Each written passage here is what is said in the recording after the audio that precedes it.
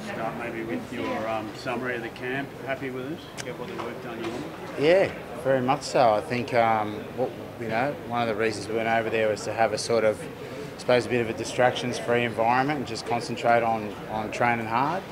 And we certainly got that. I think you know we pushed the boundaries in a lot of areas, and um, uh, I was really pleased. I think both on and off the field, a lot of the, I suppose, team building as well that we want to do over there, and um, building that spirit inside of the team. It's really good. So, yeah, both on and off the field, I was very pleased. I'm really pleased with the way you know um, the teams blended together, um, considering a lot of the things that have happened around us over the last little while, last year, and um, we've kept a steady course. A lot of good uh, relationships been built there between staff and players, and also you know the, the playing group obviously together. They're being led very well, so by the captain and, and his crew. So yeah, look, we're building. You know, it's a we aren't here to have it like having a, a good camp is part of it, but it's not the goal. You know, the goal is further down the road.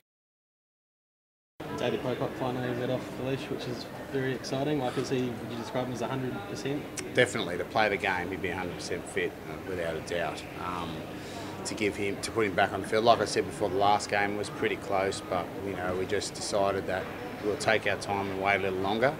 He's got through everything on the camp, hasn't had to be managed at all, so he's ready to go definitely.